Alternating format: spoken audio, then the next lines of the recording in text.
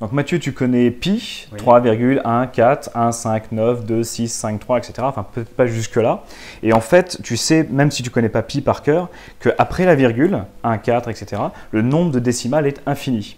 Et ça permet pas mal de possibilités parce que si c'est vraiment infini après la virgule, toutes les combinaisons de chiffres auxquelles tu peux penser sont dans pi. Par exemple, ton numéro de téléphone, ta date de naissance, ton numéro de carte de crédit avec le numéro PIN qui permet de le- de le décoder. Donc on a vraiment tout dedans. Et si tu décodes pi avec l'alphabet, par exemple, en transformant tous les 1 en A, tous les 2 en B, tous les 3 en C, etc., avec tout l'alphabet, tu obtiens une suite infinie de toutes les lettres de l'alphabet en désordre.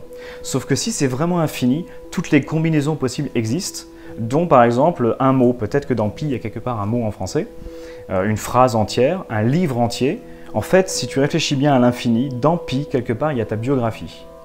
Donc si tu connaissais pi par cœur et que tu savais où était ta biographie, tu pouvais prédire le futur. C'est assez intéressant, mais on ne peut pas le faire parce que c'est très compliqué. On peut aussi euh, décoder pi avec des couleurs. Par exemple, chaque euh, valeur de 1 à 9 peut être une nuance de gris. Donc tu as des images qui se créent un peu comme euh, la, neige magnétique qu'il y a par exemple à la télé euh, quand il n'y a plus de programme de temps en temps. Et toutes les images existent, toutes les variations de ça, un peu comme des QR codes. Et si toutes les images du monde existent dans Pi quelque part, il y a dans Pi quelque part la première image que tu as vue quand tu es né. Alors ça c'est pas très intéressant parce que tu l'as déjà vu. Par contre, il y a aussi la dernière image que tu vas voir quand tu vas mourir. Et ça c'est intéressant parce que si tu connaissais Pi et que tu voyais cette image, tu saurais quand et comment tu vas mourir. Donc il y a pas mal d'informations dans Pi. Le problème, c'est que comme c'est infini, on a du mal à le décoder.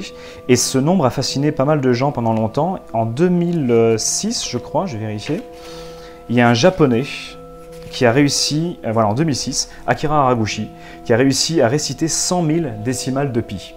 Il lui a fallu 16 heures. Alors moi, je ne suis pas aussi bon, j'en connais que 10 000, d'accord? Parce qu'il y a 10 000 décimales de Pi dans le livre. Donc ce qu'on va faire, c'est que je vais te donner le livre. Et comme j'ai une mémoire photographique, quand je regarde une page, je vois les chiffres qui sont sur la page, je vois aussi euh, sur chaque page le numéro de la page, et ce genre de choses, et c'est dans ma tête, ancré très profondément. Donc on va essayer de, de jouer avec cette mémoire de pi. Donc tu peux aller à n'importe quelle page, je ne regarde pas, et quand tu as une page qui te plaît, tu me dis le numéro de la page où tu es, et je vais essayer de te donner les premiers chiffres de cette page, de mémoire. 126. Donc la page 126, si je me rappelle bien, ça commence par un 2. Est-ce que c'est correct? Oui. Oui. Et si on continue, c'est encore un 2. Oui. Et après, c'est un 9 Oui. et un 6. Ok. Mais ça, c'est assez facile parce que c'est comme si je te demandais de rester l'alphabet. Tu commences du début. A, B, C, D, etc. Par contre, si je te demande quelle est la dixième lettre de l'alphabet, tu peux pas le faire de tête. Tu es obligé de faire A, B, C, D, E et d'aller jusqu'à la dixième avec tes doigts. Mais euh, moi, dans ma tête, euh, j'ai une séquence de 10 000 chiffres que je peux accéder.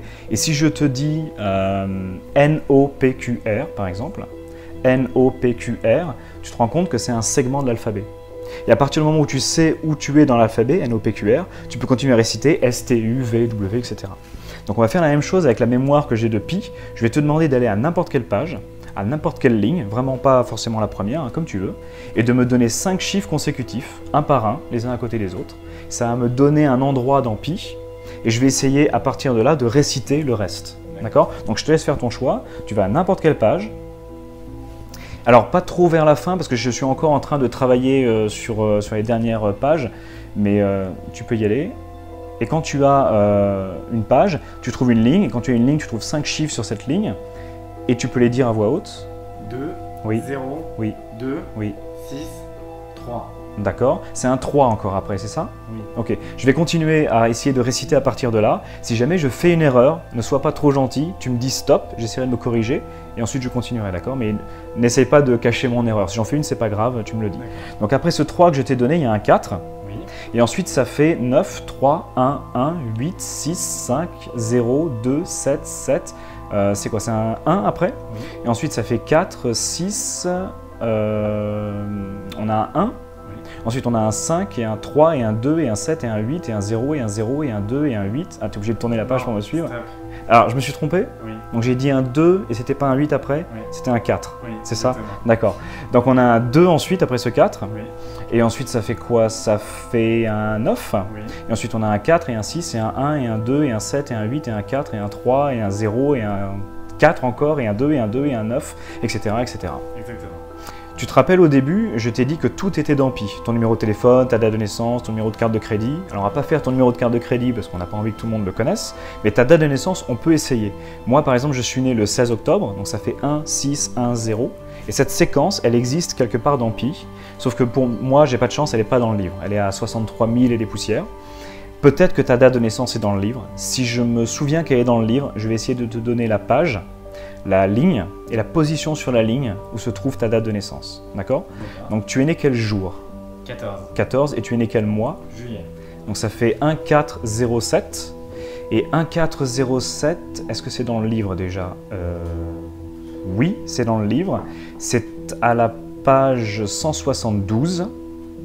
Et je dirais à la quatrième ligne, au début de la quatrième ligne de la page 172, tu vas trouver 1407. Est-ce que c'est correct?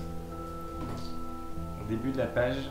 172. Exactement. Et au début de la quatrième ligne, tu as bien 1407, ta date de naissance? Exactement. C'est parfait, merci beaucoup.